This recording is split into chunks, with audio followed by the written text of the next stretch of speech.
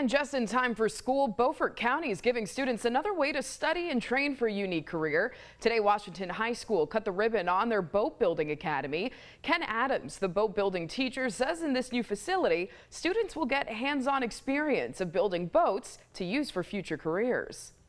We're trying to get them those skills. The space is going to allow us to do that.